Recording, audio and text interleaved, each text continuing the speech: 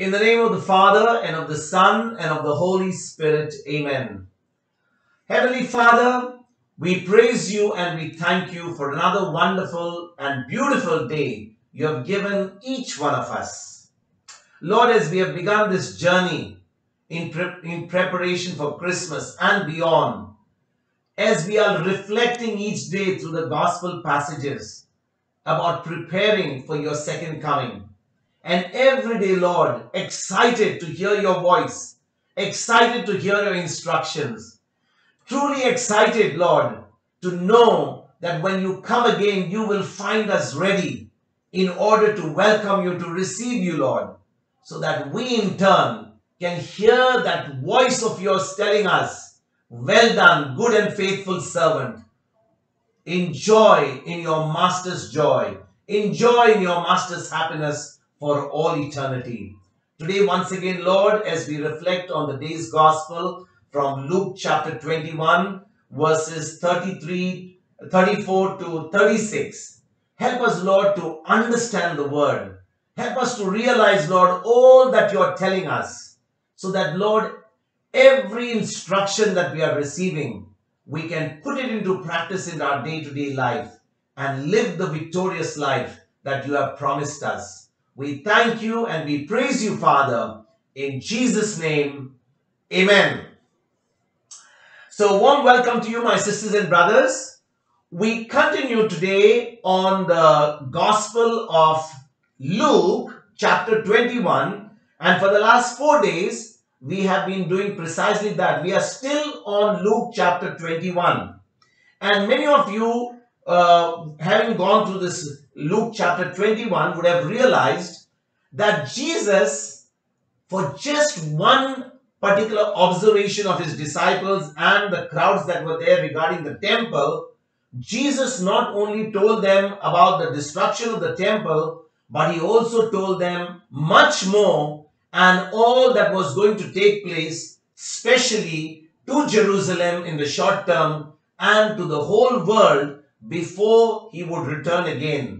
And you know, my brothers and sisters, when Jesus has been speaking in Luke 21, Jesus has still not gone to the cross. He has not, you know, obtained salvation for the whole human race. And yet, Jesus is prophesying in Luke 21 all that would happen to Jerusalem and to the temple, which already took place, and what would happen during the end times.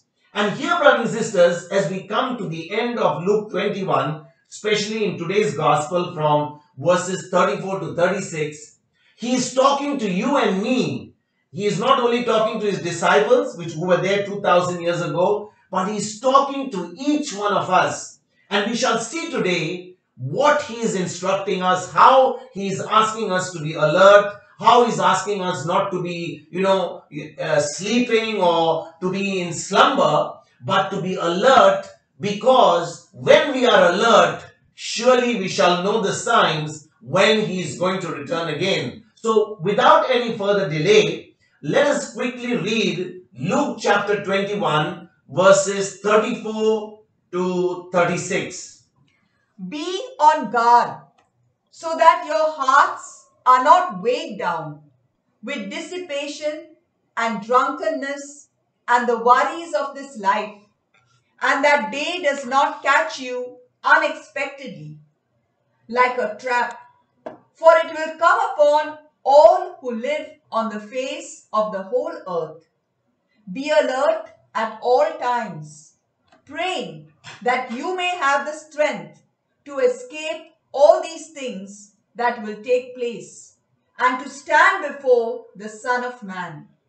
Okay, let's go straight away to verse number 34. And Jesus says, Be on your be on guard, be on guard so that your hearts are not weighed down with dissipation and drunkenness and the worries of this life, and the day does not catch you unexpectedly. You know, my brothers and sisters, if you have to be on guard as a warning from Jesus in this verse, then the day of the Lord will not come on you and me unexpectedly. Let me say this one more time. If we, all of us, are on the guard, because Jesus has been warning us in the scripture, verse number 34, then the day of Jesus Christ, when he comes again, will not come upon us unexpectedly. We shall be prepared. You know, my brothers and sisters, first we have to be on guard. What is the meaning of guard? If you ever go to a society or if you ever have, uh, you know, any any particular township, there is always the police always guarding. There is the military. There is the army of a country that is always guarding the borders of that country. If you have a society, then you will always have a watchman who is actually at the at the gate who actually only allows the residents to come in. And if anyone is coming in surely he's going to stop them. He's going to inquire whom they are going to see. In the same way my brothers and sisters what are we being guard about? What is this what is jesus saying? Be on guard. What is this being on guard? You know my brothers and sisters the phrase be on guard was translated from the greek word prochesko it is it is it is actually a, a greek word prochesko and it means to hold the mind, to hold the mind towards or pay attention or to be cautious about or apply oneself to or another, in other words, adhere to. So there are all these terms that are mentioned about guarding oneself. You know, brothers and sisters, this attitude which Jesus is talking about is the very attitude which is opposite to what is described in the very next verse. Because in verse number 35, it tells you exactly, in this verse number uh, 34, it tells you about dissipation and drunkenness and all about the worries of life. Please understand, my brothers and sisters. One who has to be on guard is a person who's guarding themselves over all the distractions of this life. Please understand, we are living on this earth and there are so many things in this world that are going to take our attention. For example, right now you are in this Bible class. Many of you in during this right now, because nobody is going to be watching you, your, your cameras are off, and you just got your Bible with you, there is a possibility of your phone ringing. There is a possibility of someone in your loved one, in your family calling to you. There is probably a, a, a phone call that will come to you. Maybe there are things in your house that you have to do urgently.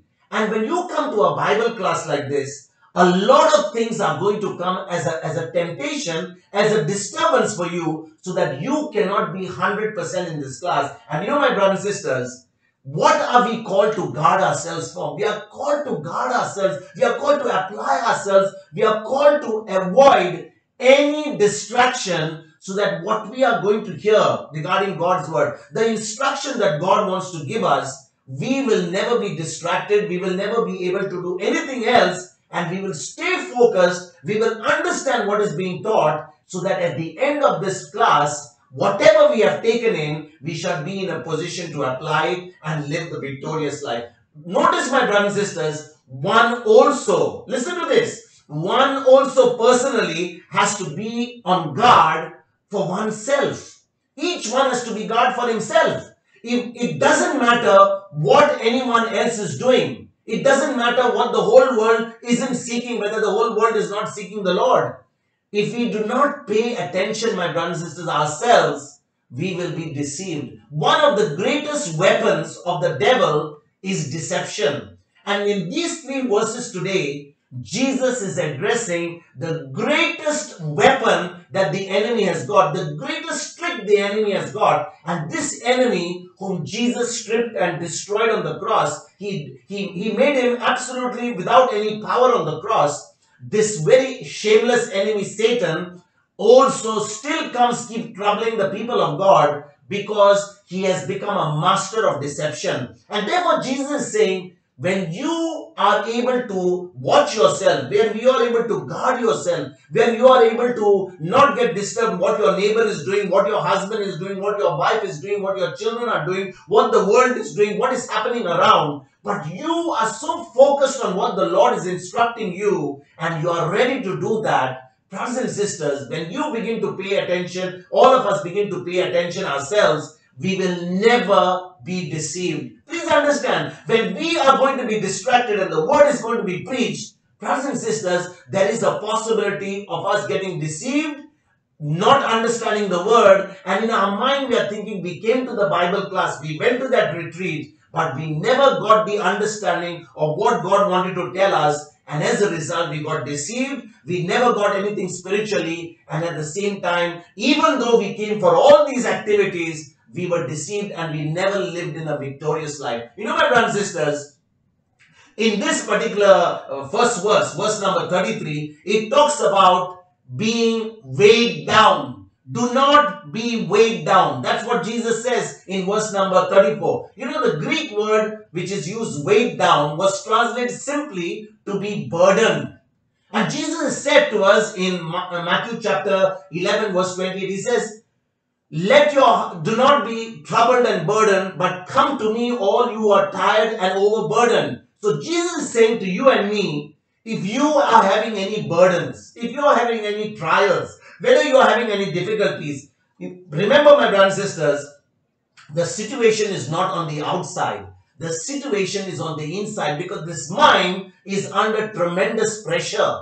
And when will the pressure come? When our mind is burdened. When we are burdened, brothers and sisters, when we are weary, when we are carrying heavy burdens, what is going to happen? We are going to be burdened down by the cares of life and all that is going to happen is the word of God is going to get choked. Please remember, when we are burdened with the worries and cares of life, the word of God that we are listening to, instead of it germinating on the soil of our hearts, it is going to get choked. Remember, uh, about a week ago, about 10 days ago, we studied the parable of the sower and the seed in Mark chapter 4. And many of you who, who were there for this class would remember that in the parable of the sower and the seed, somewhere I think it is in Mark chapter 4, verse number 19, the, the seed, verse number 19, the seed fell upon the thorns and thistles. In verse number 19, the word fell, uh, the, the, the, the, the seed fell on thorns and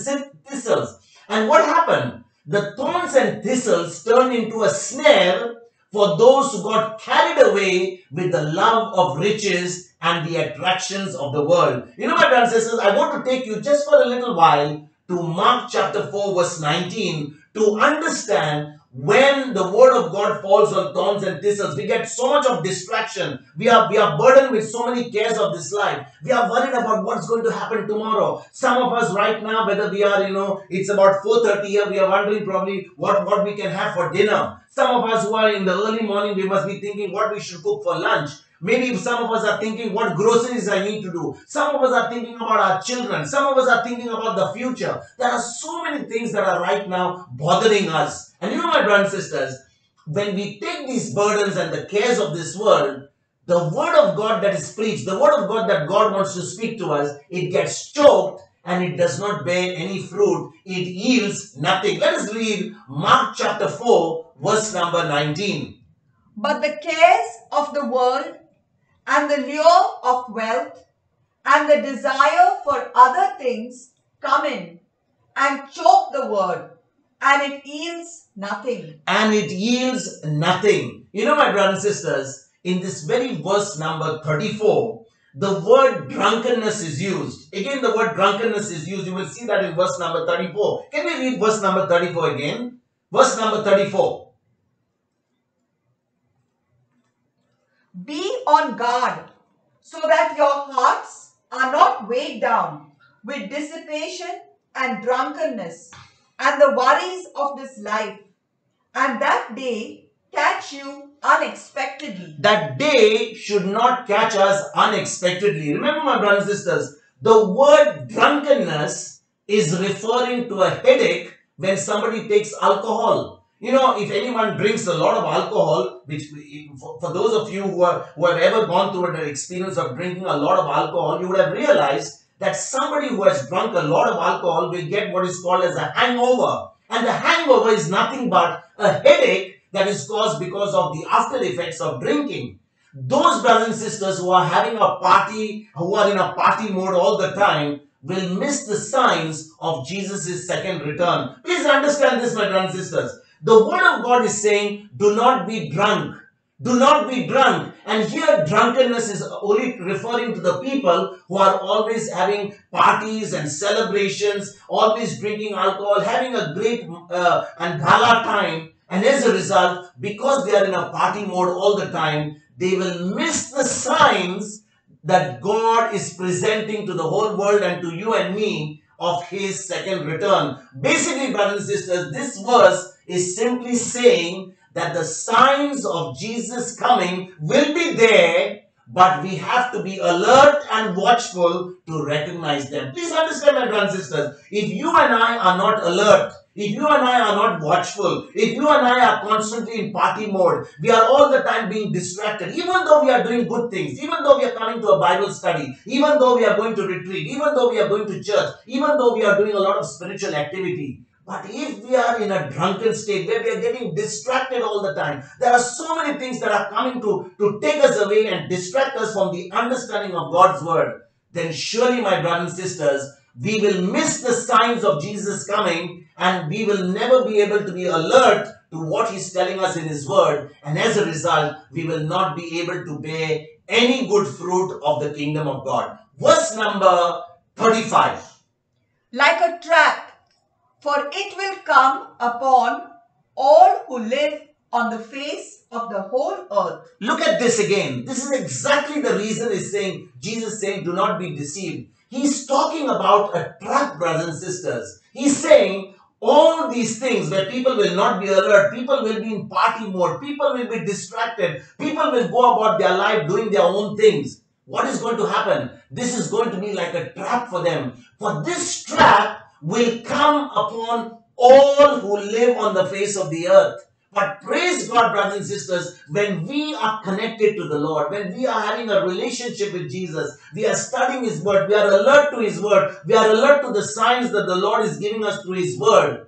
What is going to happen? We will never be falling into a trap. So, what is a trap? What is a snare? A snare is nothing but a trap, brothers and sisters. Uh, many a times, I don't know whether you have ever, ever, ever, ever, ever done that, but if you want to catch a bird or you want to catch a rat, there is always a snare. So traps have to be hidden and sprung quickly in order to catch their prey. Because if, if, the, if, the, if, the, if the spring does not does not come quickly, the, the, the prey will run away. So this is saying that the day of the Lord will be hidden for those who aren't watching, those who are not being alert, those who are being distracted. It will, it will come like a trap. And it will happen so quickly so that they will not even have any time to even escape. You know, my brothers and sisters, please understand. Jesus is giving us simple examples of day to day. How a person catches a rat, how somebody catches a bird, or anybody, you know, uses a trap in order to catch its prey very quickly. And a snare, if you understand a snare in a technical sense, a snare is a device for hunting. Because if you want to hunt somebody, you want to hunt a bird, you want to hunt a deer, you want to hunt, you know, the rats that are troubling in your house, or, you know, you want to catch some birds, whatever you want to do, even for that matter, for the fish, you know, uh, the, the bait is used, all that is used for hunting or for fishing. You know, it uses a bait to, to, to, to attract the victim to fall into the trap. You know, it is a fatal attraction of the bait that seduces the prey and makes the prey come to the bait and that's the time the trap will work and the and, and, and the prey will be caught. The bait, my brothers and sisters, is usually something that is good and even healthy. But its association with the snare is what is wrong, and many fall into the trap and are destroyed. Please understand, my brothers and sisters, the bait by itself is not bad. The bait by itself is good. In fact, sometimes, you know, whatever is being put for the bait, for example, for the fish, there are some things which are put very good. There's nothing wrong with that. It's not poisonous. Because if you're going to put something which is poisonous for the bait, like you want to catch fish and you put something which is bad, surely the fish is going to eat that and the fish is going to die. You're going to eat a poisonous fish. So the bait isn't good, but when it is put in association with a trap, that's the time the whole thing becomes absolutely deadly and it brings about a destruction. In the same way, brothers and sisters, let us look at some of the critical and very important scriptures where Satan uses this tool of deception. He uses the, the tool of ensnaring his, his, his, his, his targets. And who are the people he's going to ensnare? We may, we as human beings are going to go and catch fish in the in the sea. We are probably going to get birds in the in the air, or probably you know uh, that rat which is going to trouble us. But the devil wants to use you and me and use that deception, use a snare in order to trap us and to destroy us. I want to take you to some scriptures to show you about the snare of the enemy. Psalm 106, verse number 36. Let us read that. Psalm 106, verse number 36. They served their idols, which became a snare to them. They served their idols, which became a snare to them. You know, my brothers and sisters, in the Old Testament, the Heavenly Father, the Lord, deliberately instructed the Jews to make no alliances with the inhabitants of the land. He told them, I do not want you to associate with pagan nations. I do not want you to mix around with people who are Samaritan. I don't want you to mix around with people who don't belong to the to the to the chosen race which I have chosen you and made a covenant with you. You know, my brothers and sisters, today, why what what what is the, what is the implication of this statement? This is exactly like following the customs and traditions which have been passed to us through by our ancestors, which take us away from the word of God. You know, my brothers and sisters, Jesus said that in his word. He said, your, he's telling the Pharisees, your, your customs, your traditions, and all the things that you are doing, they have become, they have made the word of God of no effect in your life. And the same thing can happen to us even today. Many of us, because of the of our background, because of our parents who did not know the word of God, they came from different areas of the world, they came from different regions of the world. They grew up in a particular environment, they have got a particular way of operating, they got certain traditions. And now that you know the word of God, if you continue to operate according to the old ways, the old traditions, you will find that the devil is going to use those things as a snare to stop you from bearing fruit with the word of God. How beautiful it is, my brothers and sisters. God, in His wisdom, is giving us a, a- a direction. He's giving us a warning that we should never get ensnared by the by the things what the what, what the devil wants to use to take us away from the word of God. Let's take another another verse from Psalm 124, verse number 7. Psalm 124, verse number 7. Let us read that. We have escaped like a bird from the snare of the fowlers. The snare is broken and we have escaped. Now look at this, what the what the what the psalmist says. We have escaped like a bird from the snare of the fowler. The snare is broken and we have escaped. Isn't that a good good good sign, brothers and sisters? If you think that if you are going to catch a rabbit or you're going to catch a rat or you're going to catch a fish, this is not a good news because you want to destroy those rats. You want to catch that bird. You want to you want to catch fish. But when it comes to the devil, you don't want to be ensnared by the devil. A snare, brothers and sisters, is made to trap and to enslave.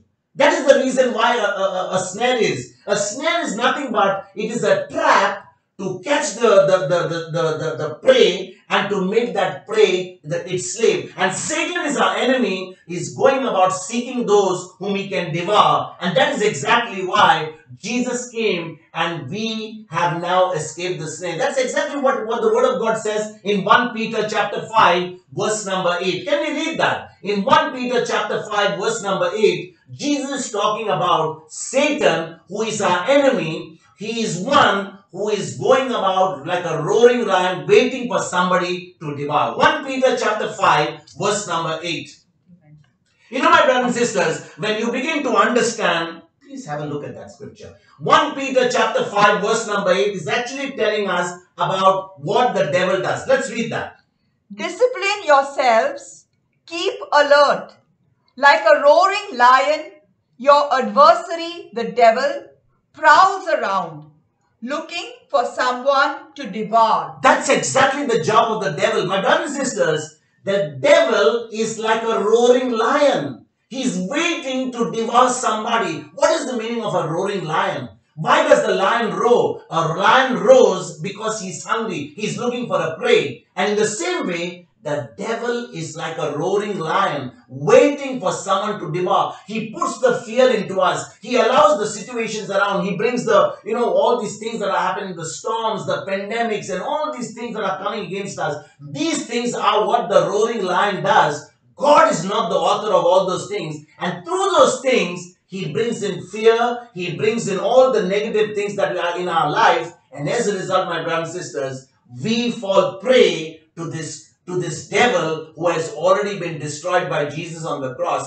He, Jesus has broken that snare. He has destroyed that snare so that we have now been able to escape we are no more in the clutches of the devil, and now we have been completely saved. Let, let, to go for other verses, but I want you to refer to some of the verses and, and do that as a homework. For example, Exodus chapter 23, verse 33. It talks about, again, about the snare. Exodus chapter 34, verse number 12. Again, it talks about the snare. Deuteronomy chapter 7, verse 25. It talks about the images that the people of, of Israel had made other than God and which ensnared them. In Joshua chapter 23 verse, verses 13 it also talks about you know how the, the the the the Lord had told the people of Israel to drive out all those nations but Joshua and other and the people of Israel did not drive out those nations, and as a result, they made an alliance with those people and they got ensnared by going into that particular relationship, and as a result, they were completely destroyed. You know, my brothers and sisters, I want to take you to a New Testament scripture which is also talking about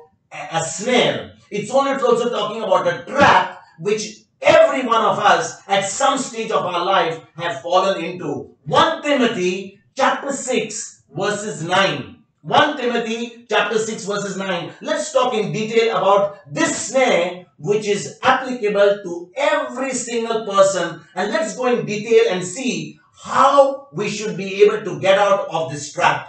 1 Timothy chapter 6 verse number 9. But those who want to be rich fall into temptation and are trapped by many senseless and harmful desires that plunge people into ruin and destruction.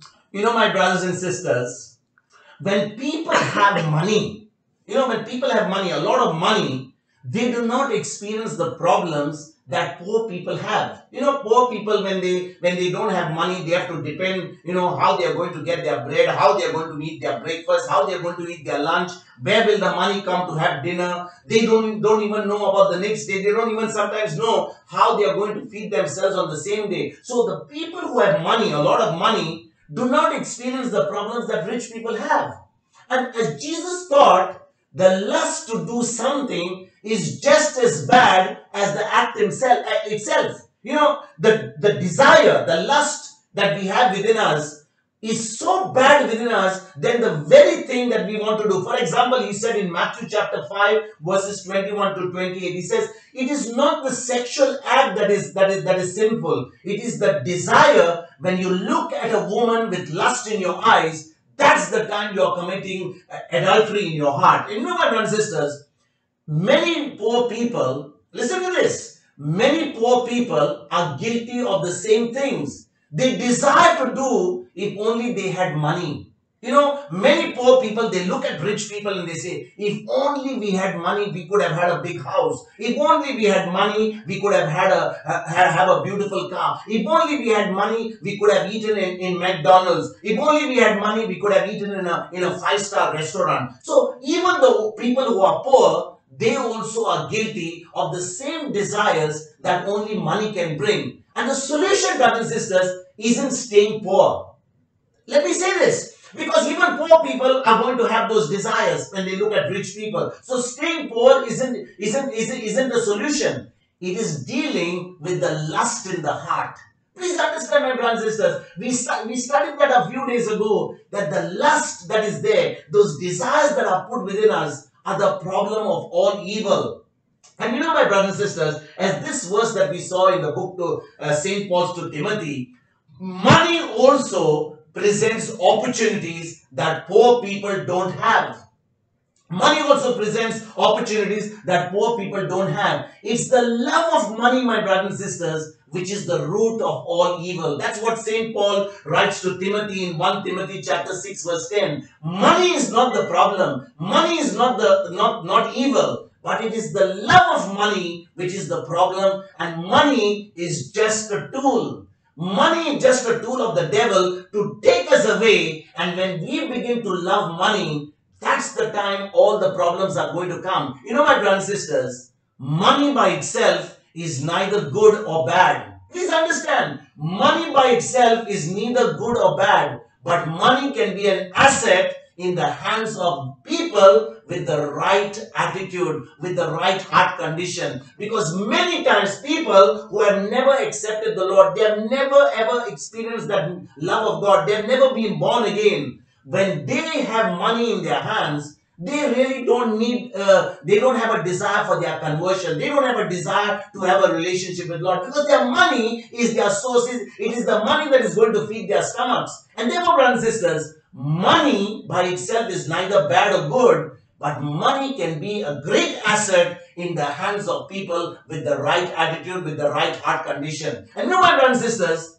There are many temptations. Listen to this there are many temptations which come to those who have a lot of wealth, who have got a lot of money. Suddenly, one of the subtlest, very subtle it is, and most damaging is the temptation to minimize their need for God. You know, my brothers and sisters, I do not know whether you are experiencing this right now. If you have a lot of money in your bank, and even though you go to church, even though you're seeking the Lord, there is some place in your mind, somewhere down the line, where the thought is, even if I don't go to church, even if I don't read my Bible, even if I don't seek the Lord, I'm still going to have all my meals. I'm still going to have a nice bed to sleep. I'm still going to have a good car to drive. I'm still got everything which is going to be provided because I've got enough money in order for me to live my life. So at this very moment, there is no danger for me. But brothers and sisters, wealthy people are often deceived by the power that their money has. Please understand. Wealthy people have been deceived by the power that their money has. They think that they can do anything on their own and they don't need God for sure. That is the reason why people do not have uh, that desire to have intimacy with God. They don't have that desire to spend time with God. They don't have that desire to really, you know, invest time because anyway, I've got all my needs. God can also have about 10, 15 minutes. Maybe you can have half an hour. Maybe you can have an hour or two. No problem. And you know, my brothers and sisters, when we go to the Old Testament, for example, you look at all the heroes in the Old Testament like Abraham, like David. You know, these people certainly were very wealthy people in the Bible, but they never ever had any of those desires about money.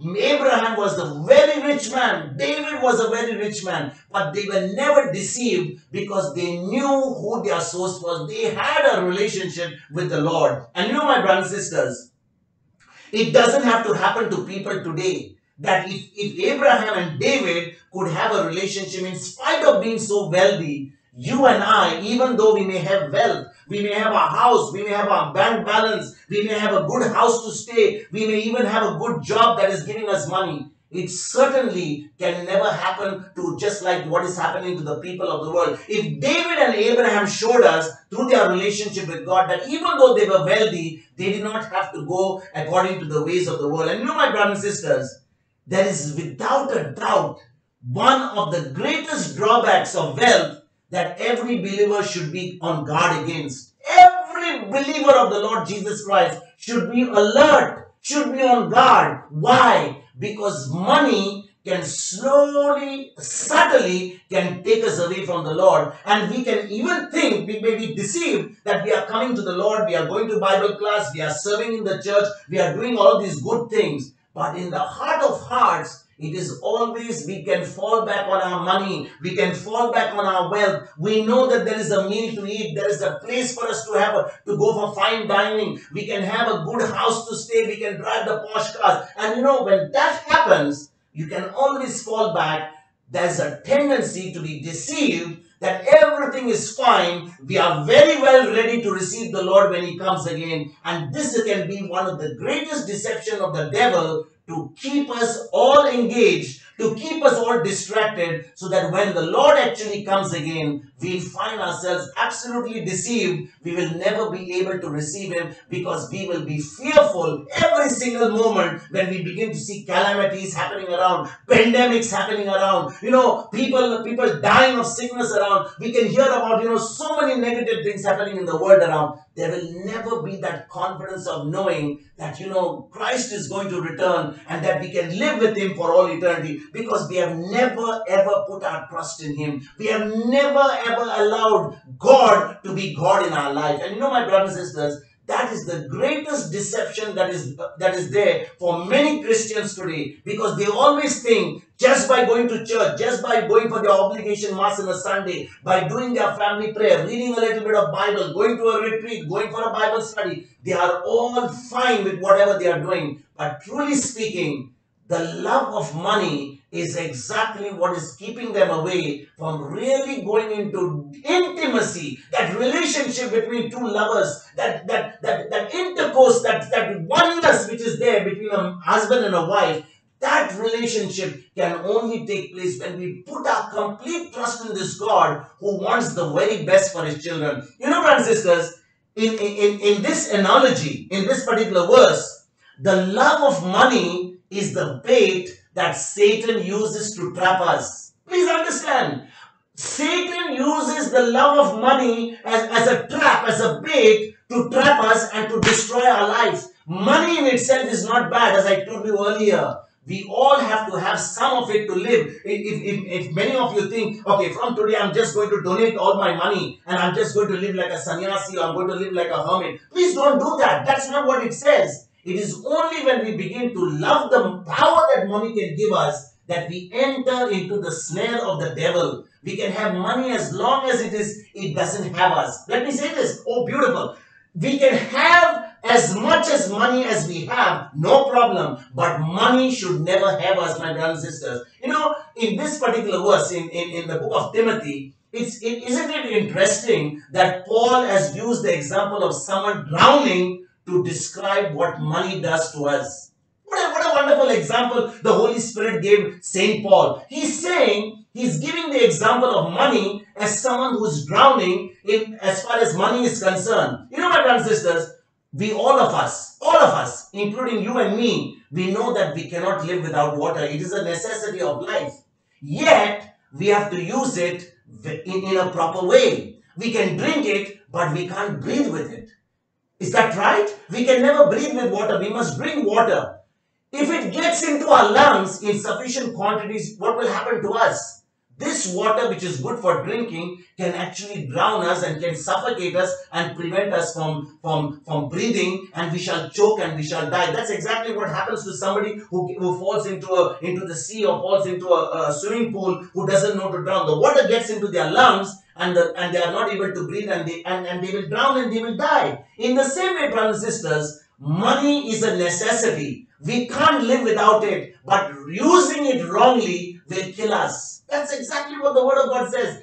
Just like drowning doesn't happen instantly, it takes time for the love of money to kill us. Please understand that. Drowning that will not immediately kill you instantly. There is a process by which the water should go into your mouth, get into your lungs. You should stop being able to breathe, and that's the time you are, you are choked and you will die. In the same way, brothers, the love of money is something that grows and grows over a period of time until just like that water getting into our lungs and not allowing us to breathe. In the same way, the love of money comes as a slow little poison into us and kills us. At the, at, at the first sign of the love of money, my brothers and sisters, listen to this. At the first sign, when you begin to love money, you must understand we should stop what started it and grasp for the fresh air of the Holy Spirit, just as a drowning person wants to grasp for fresh air. Please understand, my brothers and sisters, the Holy Spirit is teaching us something about snare today. We have to understand if there is something that is going to give us a trap. For example, if you're all the time being attracted to watch the television, you're wanting to watch soap operas, That there are some people who get so addicted to watching some, you know, pornography. They get, they just want to watch a little bit which is there in those movies, and as a result, that slow movement gets you to watch pornography. Slow movement. For example, a drunkard, he just sees, I want to take a couple of sips of alcohol. That one sip becomes one peg, and one peg becomes five pegs. The moment you begin to sense that something is going to trap you, something that you are really getting attracted to, it's time for us to immediately get to the word. Take a fresh air of the Holy Spirit and allow that fresh air to come of the Spirit and help us to prevent from being drowned. You know, my brothers and sisters, the devil is crafty. The devil is wicked. The devil hates God and hates the people of God. And when we begin to follow the instructions of the Word of God, when we follow the leading of the Holy Spirit, we will definitely not allow the devil to kill us and destroy us. You know, my brothers and sisters, any of us who are so afraid of drowning that we won't want water, that, that we won't drink water are also fools.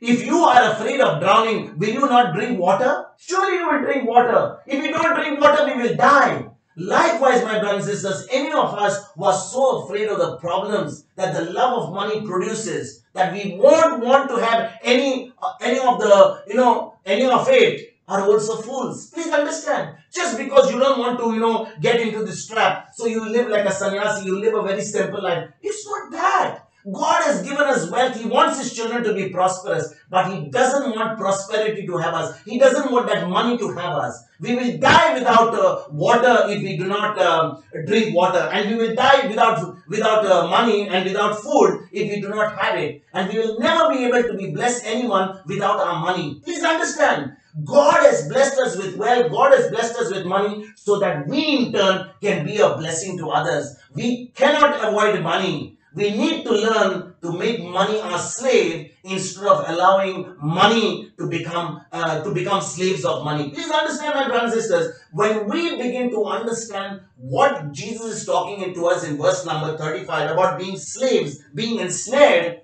whenever you sense something is making you a slave, some particular habit is making you a slave, go back to the root of the problem. Go back to that very source which is making you a slave Chop it off from your life. If the television is something that is giving you much fear, the news of the world, the statistics of, of COVID 19, if those things are, uh, uh, are coming into your life, into your mind, it's time for you to, you know, cut off the plug of the television, stop that television set, and allow the good news to sink into your heart. Allow your mind to be renewed so that you can be prepared for the Lord's second coming. And brothers and sisters, just like money, or just like water, or just like any other source, we must be on the lookout.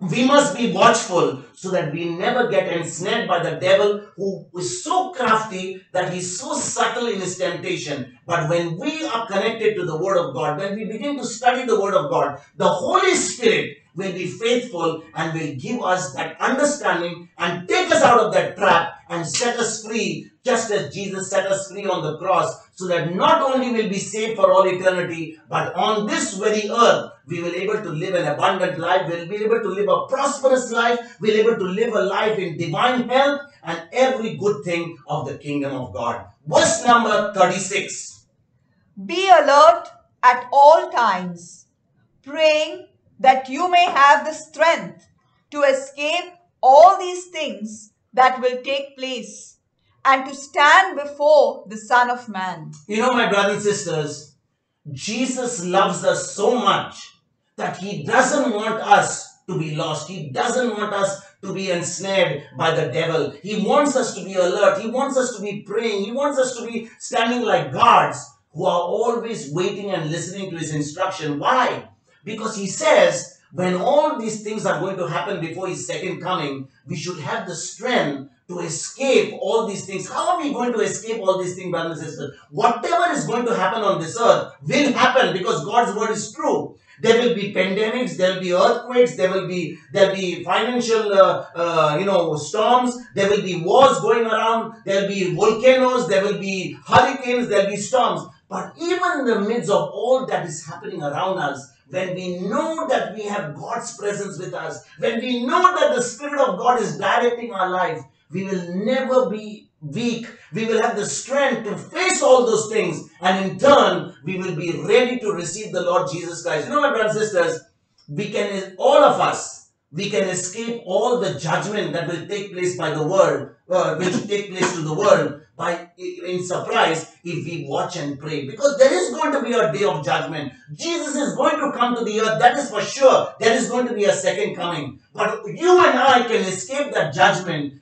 and what is going to happen to the world if we are alert and we are praying and watchful you know brothers and sisters this is simply telling us that we need to be in fellowship with the lord and look for the signs of his second coming. Unless we are going to have fellowship with the Holy Spirit, we are connected to the Word of God, we are spending time being sensitive to what the Holy Spirit is telling us. We will never ever be able to see the signs of His second coming. We'll always depend on somebody to give us the prophet, prophetic word. We'll always depend on somebody else to tell us what is happening on this earth. We don't need that. When we have, when we are sons and daughters of the Heavenly Father, the Spirit of God lives inside of us.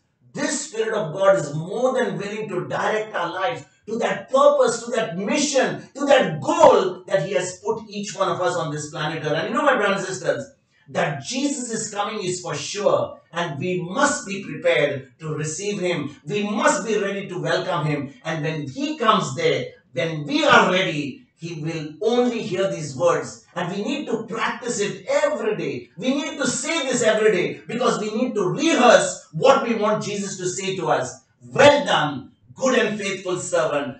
Welcome into your master's joy. Welcome into your master's kingdom for all eternity. Amen. Let us pray. Father in heaven, we thank you and we praise you for giving us the understanding of your word, for helping us to understand how and why we need to be alert, why we need to be in tune with the Holy Spirit, why we need to be in, in that intimacy with you and your word, Lord, because we know we are in the times of your coming. We know that we are in the times where our salvation is near. And as we begin each day to plant the word of God in our heart, as we begin to become sensitive to your word and the Holy Spirit, we know and we know that Lord, you are faithful to your word. You are faithful to your promise that you are giving us direction. In the midst of all that is happening around us, you are still allowing us to move to the finishing line so that when we meet you and we greet you at your second coming, we will only hear those beautiful words. Well done, good and faithful servant welcome and live in your master's joy. For all this, Lord, for the great promise that you have given us, and for the hope that we one day will live with you as one in the in your kingdom. We thank you and we praise you, Father, in the glorious name of Jesus. Amen.